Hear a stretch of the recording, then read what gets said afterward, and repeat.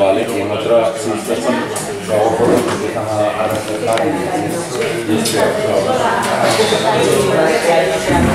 Agradecer la, la, presencia tanto de, de los centros educativos que aquí estoy representados como de partidos a los que hemos invitado. Por cierto, hemos invitado a, a todos los centros y a, hemos invitado a todos los portavoces de todos los partidos. Fundamentalmente porque la labor que tenemos hoy aquí, en la que recibimos con mucho gusto al,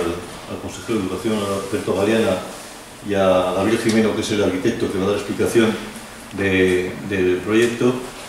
pues lo que pretendemos es informar de cuáles son los pasos que hemos dado. Es una cuestión que es muy importante para nosotros. Y es importante porque, como sabéis, mm, se generó una cierta problemática a lo largo del año pasado que venía vinculada eh, a la necesidad de ampliar los centros educativos en Calahorra, especialmente en la materia de formación profesional.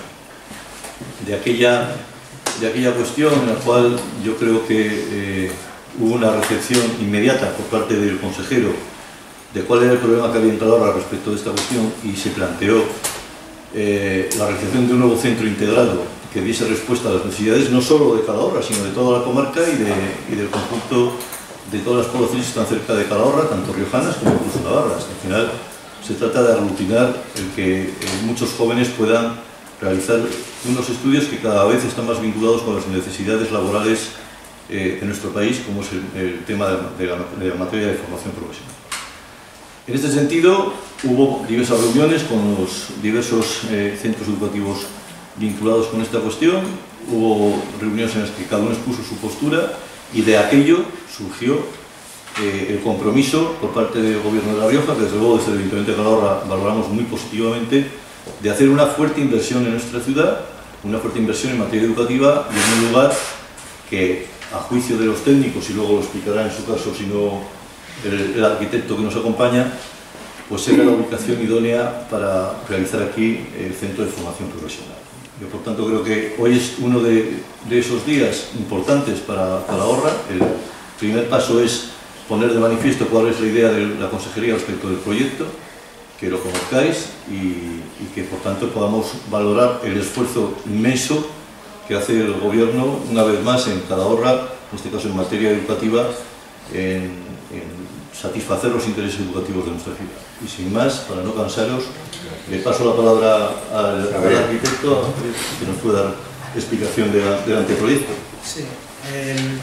lo primero que os quería comentar un poco el tema de la parcela. Eh, se- hace eh, varios meses se estudiaron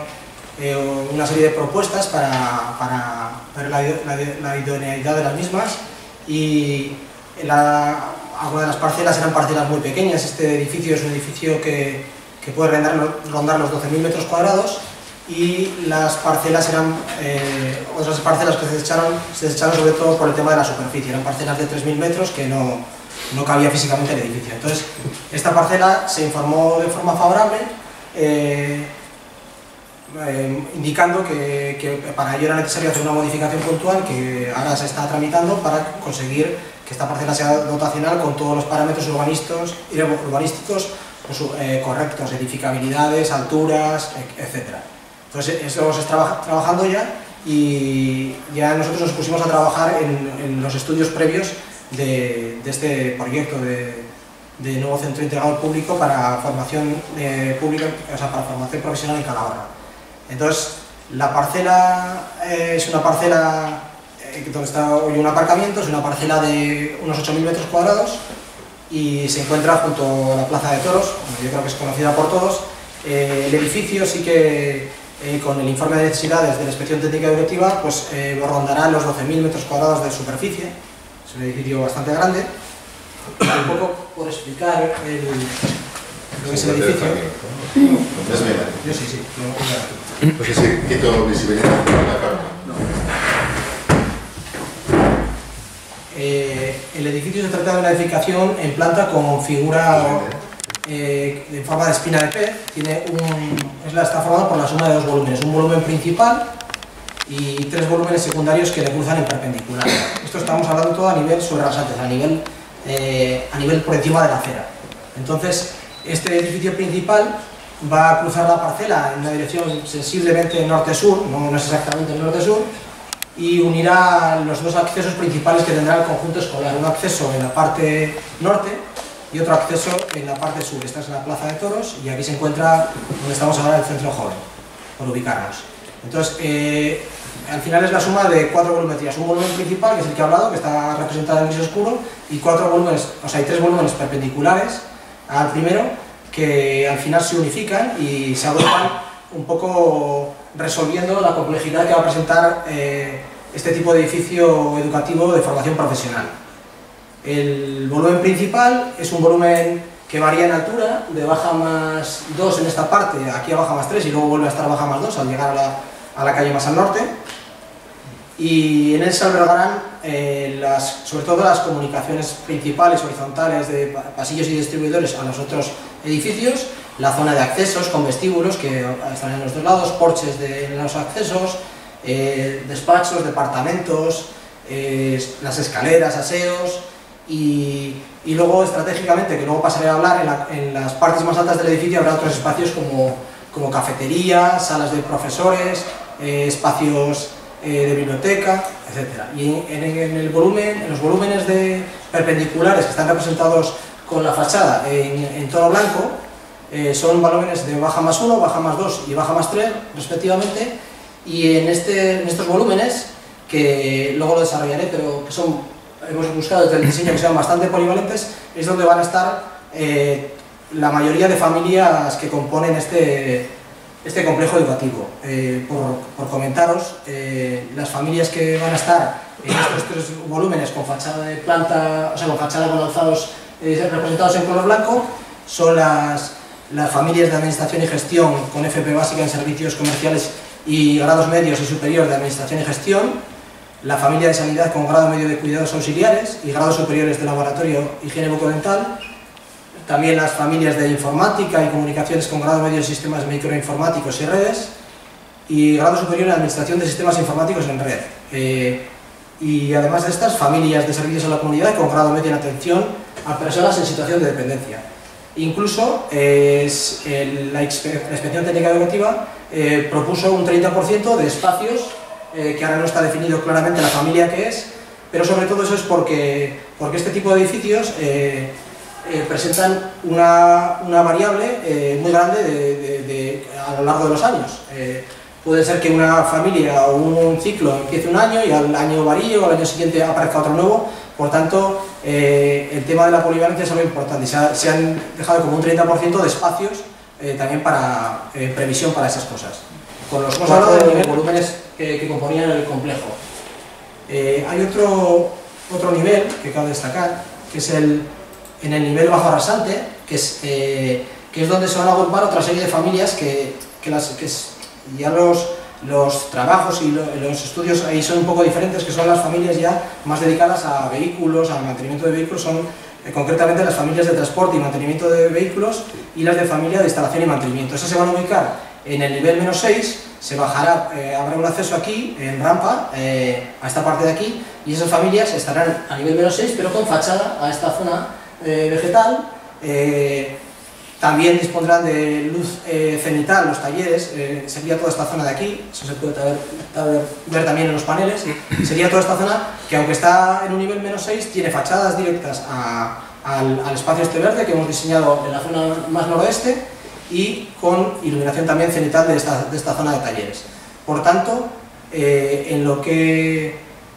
eh, lo que hemos buscado desde el propio diseño es que los accesos a la parcela, que, que existan varios accesos para evitar así eh, las aglomeraciones de alumnos, y hemos hablado que habría un acceso eh, desde esta zona principal, otro acceso desde esta otra zona, el acceso que estaría aquí para, para más los talleres de, de relacionados con vehículos y automoción, que sería tanto de vehículos como acceso de personas, más para esta zona de talleres, y además de estos accesos eh, tenemos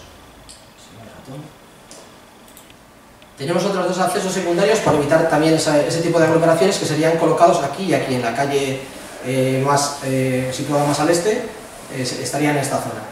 En lo referente a, también en lo referente a los patios deportivos, se han ubicado en la zona más al norte dos patios deportivos, un patio con una cancha de fútbol sala mano a mano y al lado contrario eh, en esta no se ve, la siguiente, sí, eh, una zona de baloncesto. Son patios que están separados por el, el volumen principal, el, el volumen este de tono gris oscuro, y aunque están comunicados a, a nivel de planta baja por un porche que sirve tanto de comunicación de los patios como de estancia de los chavales en días de lluvia o para o marca, que está justo en el acceso en uno de los accesos. Y, y ya lo he comentado antes, así un poco rápido, que, era, que había dos aspectos fundamentales que queremos destacar. Eh, está claro que estamos en, todavía en una fase muy inicial del, del del proyecto, en una fase de estudios previos, pero ya desde el diseño inicial hemos tenido en cuenta dos aspectos eh, que creemos que fundamentales. Eh, uno de ellos, eh, bueno, los dos aspectos son, lo primero era buscar la polivalencia que he hablado antes de los espacios. Eh, todos los espacios de aulas y talleres, eh, excepto los de, los de transporte y de vehículos que estaban en el nivel menos 6, van a encontrarse en los, en los tres volúmenes que, de fachada en color blanco. Entonces, estos espacios eh, se ha buscado que sean muy polivalentes. Para ello, el- lo que se ha hecho ha sido eh, agrupar eh, las zonas como, podríamos decir, en planta fijas, que no se pueden mover, las escaleras y los aseos, justo en la intersección entre el volumen principal y los volúmenes secundarios. Las escaleras estarían y aseos estarían todos en esta zona y por, incendios también haber escaleras en los extremos. Pero con eso se, se consigue liberar eh, toda la planta, las diferentes plantas en cada, para, para que tengan esa polivalencia. Para eso eh, nos emplearemos de tabiques móviles de- y también el fondo, el fondo que tiene en este edificio, el ancho, es de unos 20 metros que nos permite eh, bien eh, obedecer a un esquema de un pasillo central con aulas a los dos lados, aulas al norte, generalmente las principales, porque es la orientación mejor para el uso docente, y, y al sur espacios más secundarios, pero nos permitirían también en, en otra serie de plantas incluso que no haya pasillos y que sea todo grandes espacios, que en este tipo de edificios sí que hay grandes talleres en los que el, espacio de taller iría de fachada a fachada sin pasillos intermedios. Por tanto, en varias partes del edificio habrá este tipo de plantas, con tabiques móviles, con, o incluso zonas que se puedan, eh, para que se puedan abrir y ser talleres grandes, o, o espacios de aulas más pequeños. Eh, por tanto, con el fondo este de 20 metros eh, podemos hacer espacios con pasillos en el centro y múltiplos de 50 metros cuadrados eh, que nos permiten mucha versatilidad porque la vida educativa de estos edificios eh, hemos observado que es muy cambiante, que, empieza un ciclo ahora y a lo mejor a los 3-4 años el ciclo se modifica o entran ciclos nuevos y por tanto el edificio tiene que estar adaptado a eso. Y el otro aspecto importante que, he dejado un poco para el final es, es que hemos intentado desde el propio diseño liberar eh, lo que son las, las cubiertas del edificio eh, transformándolas en patios eh, en altura. Para eso eh, hemos ubicado estratégicamente determinados espacios en este volumen principal, como por ejemplo podría ser la zona de cafetería en esta zona, que estará en el nivel más 8 y tendrá salida directa a los patios en el nivel más 8. En, esta otra zona toda- todavía no está definido, pueden cambiar los espacios, pero serán espacios, por ejemplo la biblioteca, lo mismo en el nivel más 12, con salida directa a los patios en este nivel, y en esta zona podrían estar eh, salas de profesores o, familias eh, relacionadas con la agricultura, o pudiéndose utilizar estos patios de diversas formas o huertos escolares. eh, ya os he dicho que todavía estamos en una fase de estudios previos. Y, y como esta imagen era del norte con lo de las pistas y la última imagen que tenemos es justo desde el lado contrario, pero aquí se encontraría el centro joven y voy a ir un momento para atrás para que veáis que existen otros espacios, cuatro espacios que son los que se encuentran entre los bloques de baja más 1, baja más 2 y más- baja más 3, que serían este espacio de aquí, el- dos espacios en la zona este, que sirven un poco de relación del propio edificio, para, también para dar luz al edificio, de relación de los propios alumnos, tienen justo eh, vistas y relación con la ciudad, ya que ahí se colocan accesos secundarios, y en el, justo en el lado contrario, los dos otros dos patios que están más al lado oeste, eh, se, se ve mejor en, la, en esta imagen de aquí, estos dos patios, lo mismo, serán patios de relación del alumnado, estos no tendrán comunicación física con el resto del patio, ya que esta, esta zona está elevada con respecto a la otra, pero tendrán vistas a, a esta zona que hemos diseñado un poco como que podrían estar los chavales de reposo para estudiar, para relacionarse, una, una zona un poco más de relax. Eh, y en esto, aquí se ven por ejemplo pues estos lucernarios que os comentaba antes, que nos servirán para dar luz cenital a, a toda la zona de talleres que estará ubicada en esta parte. desde el propio diseño eh, hemos también dejado eh, la posibilidad abierta de, de ubicar aparcamientos subterráneos eh, para el edificio, bien para los docentes, o eso se tendría que ver, en el propio sótano, aprovechando esta entrada, y estarían ubicados aquí detrás de los talleres, eh, justo debajo del, del volumen principal, del volumen en tono gris. Y esto es un poco lo que, lo que os quería comentar. Muy bien, muchas gracias, Gabriel. Bueno, pues eh, después de, de la exposición técnica, parcela donde estamos, al, al lado del centro joven, pues eh, la primera indicación que, que les dimos a, a la unidad técnica de arquitectura fue eh, buscar, por un lado, la, la funcionalidad, lógicamente, eh, con el objetivo fundamental de salvaguardar los ciclos de formación profesional que ya se están impartiendo en Calahorra, es decir, eh, no se pierde absolutamente nada, al contrario, eh, estamos hablando de conservar todo lo que tenemos, pero sobre todo, como ha dicho muy bien él, pues eh, permitiendo, y así lo verificó también inspección en el, en informe de necesidades, pues que aproximadamente un tercio del- de los espacios pues sean polivalentes. Esto es por varios motivos y fundamentalmente es, como ha dicho también Gabriel, por lo cambiante que es el tejido económico y que implica también que una formación profesional adaptada y por otra parte eh, porque estamos haciendo un análisis en toda La Rioja, no solo en Rioja Baja, de cuáles son las necesidades formativas nuevas en los ciclos mm, profesionales nuevos eh, que puedan sumarse a lo ya existente en, Calahorra, que tiene su vocación, como ha dicho también el alcalde, no solamente dar servicio a la ciudad, que fundamentalmente sí, sino también a toda la, a toda la Rioja Baja en su conjunto e incluso localidades limítrofes. ¿no? Eh, a su vez, hemos querido también eh, darle un- una, imagen que es una de las grandes virtudes de esta, de esta parcela que se nos, eh, que se nos pone a disposición, eh, una, una imagen de nueva formación profesional, no los típicas, las típicas naves industriales, no una imagen fabril, sino también una imagen nueva, una imagen dinámica, una imagen que también vaya asociada al propio, al propio edificio como icono de algo nuevo y que además encaja en una zona urbana de la ciudad de expansión. Eh, por lo tanto, conseguimos al menos un doble objetivo, que es el objetivo de dar servicio, pero también de transmitir un mensaje urbano y transmitir un, un mensaje del- educativo muy potente desde el punto de vista de la formación profesional. Esta yo creo es una de las grandes virtudes eh, del proyecto que tenemos entre manos. Como ha dicho Gabriel, eh, se trata de un estudio previo. Y el estudio previo, por tanto, no, no podemos hablar todavía de un proyecto. ¿eh? Esto es un estudio previo, que es la fase, lo que se denomina técnicamente un primer, un primer inicio de cómo pueden ser las cosas, pero que nos permite eh, pues visibilizar eh, a través de estas infografías cómo puede quedar. El estudio previo, a su vez, eh, está concebido para ser un documento abierto. Y ese documento abierto implica también que se pueda dialogar con la comunidad educativa, con el ayuntamiento en su conjunto, para perfeccionar, para completar, eh, incluso para variar determinadas cuestiones. ¿eh? Es decir, esto no hay que verlo como algo rígido ni como algo cerrado, sino como una propuesta. Eh, y esa es la finalidad del estudio previo. ¿no? Eh, a partir de ahora lo que queremos es establecer eh, un contacto más profundo, tanto a nivel técnico de la consejería como sobre todo con los centros educativos y también con, toda la comunidad educativa de Calahorra y el propio ayuntamiento, para avanzar. Porque ahora por delante tenemos un camino, se ha hecho un camino, el ayuntamiento nos consta que está trabajando de manera intensa también en sacar adelante eh, los aspectos urbanísticos y, y también lo que corresponde a la cesión de la parcela. No tenemos que olvidarnos que hasta que no esté cedida formalmente la, la parcela con todos los parabienes, pues nosotros no podemos iniciar las obras, pero sí que es verdad que se han dado pasos importantes.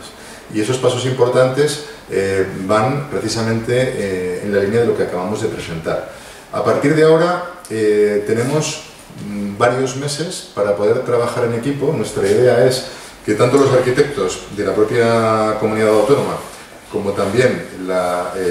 empresas que podamos contratar eh, pues formen, conformen un equipo y que ese equipo eh, mixto, como hemos hecho también en otras actuaciones, pues pueda desarrollar el proyecto a lo largo del año 19 en el que nos encontramos. Tengamos en cuenta que, que un proyecto de estas características tan grande pues eh, eh,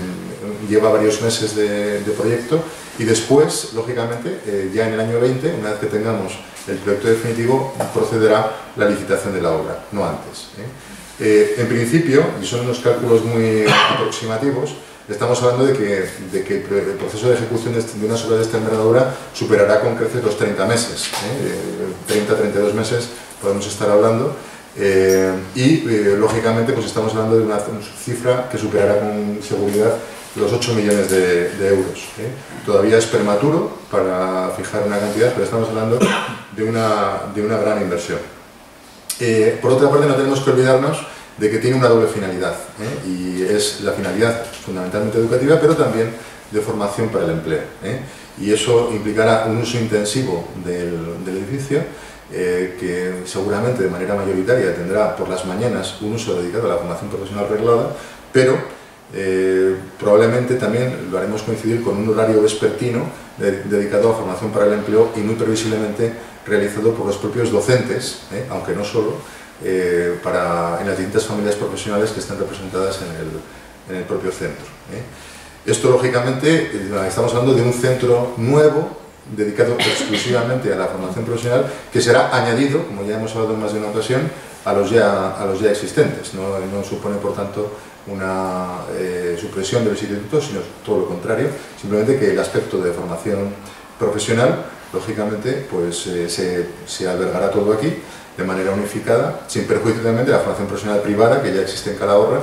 y por supuesto también eh, de la formación profesional dual que permitirá que haya cosas que se vean aquí, que se trabajen aquí, pero que luego se trabajen en las empresas. Lo mismo que también la formación en centros de trabajo, porque como saben todos ustedes, estamos trabajando en un modelo híbrido cada vez más, con mayor presencia en el tejido productivo eh, y por tanto también eh, no cabe duda que a la hora de fijar la oferta def- definitiva de estudios, eh, ese 30% adicional pues también iremos consultando con la Federación de Empresarios y con la industria y el tejido económico de Calahorra para poder mm, albergar lo que más se necesite. Ahora mismo estamos trabajando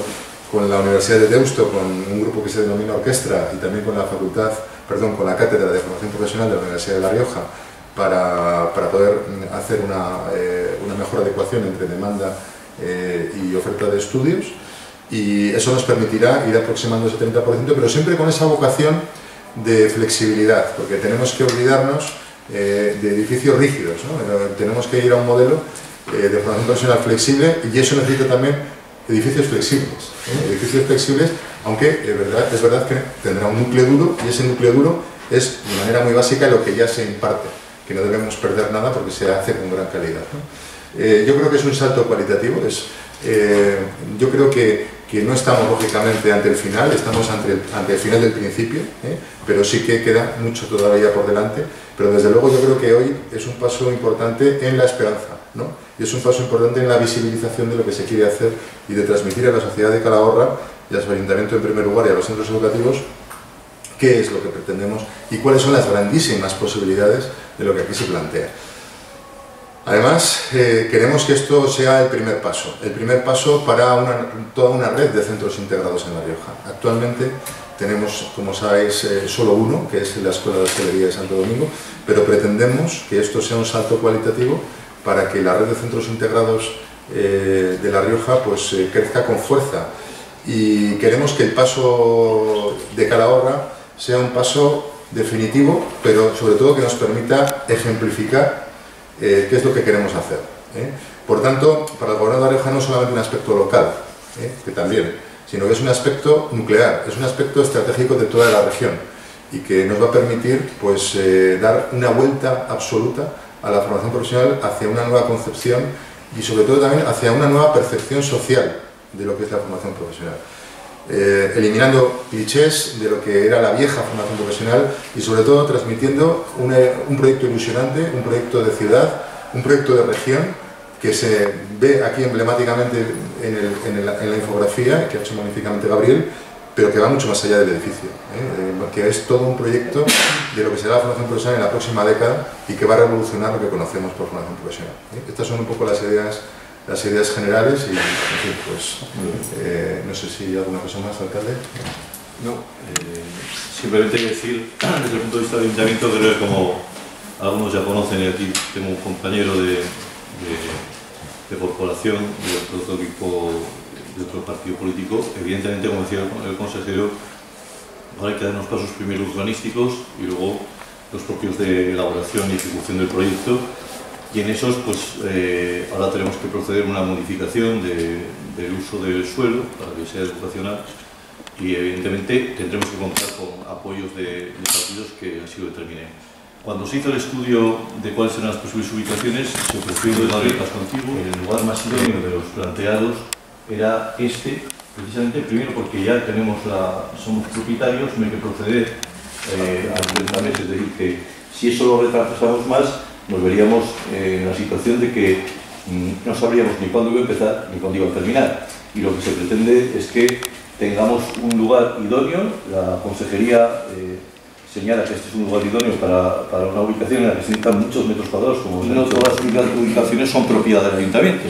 Con lo cual partimos de una premisa eh, obligada que es que lo que podamos ceder sea nuestro, ya que no podemos ceder lo que no es nuestro, y que pueda ser posible en un plazo relativamente breve. Porque la, las exigencias educativas, lo que los centros nos transmitieron en su día, tanto al consejero como al ayuntamiento, es que esta no es una situación que se pueda dilatar en el tiempo, sino que exige que eh, seamos protagonistas cuanto antes de, eh, esta eh, iniciativa educativa que no es solo para Calahorra, sino digo, nos hace más centro de comarca y nos hace más capital de comarca y tenemos que conseguir que todos los jóvenes y estudiantes del de entorno, tanto de La Rioja como de Navarra, hay que ser ambiciosos, pues puedan venir a nuestra ciudad. Así que yo quería también dejar esa explicación de que no es un capricho ni del ayuntamiento, ni es un capricho de la consejería la ubicación, sino que ha sido objeto de un estudio técnico, que no político, al ayuntamiento le da igual cuál era la, ubicación, y, eh, siempre cuando fuese posible y pronta, y otra cosa es que, luego necesitamos determinados apoyos que, con los que espero contar y desde luego agradezco la presencia aquí de mis compañeros de, de mi compañero de Ciudadanos. Me hubiese gustado que hubiesen venido otros partidos políticos, pero bueno, si no han venido les trasladaremos la, la, importancia de este proyecto y de la fuente de inversión que supone para cada uno. Y llegado al punto en el que logramos y buscando el máximo consenso, porque eso yo creo que, que es un leitmotiv que hemos, que hemos tratado de inculcar a este proceso, pues eh, no, hay, no hay un minuto que perder, no hay un minuto que perder porque,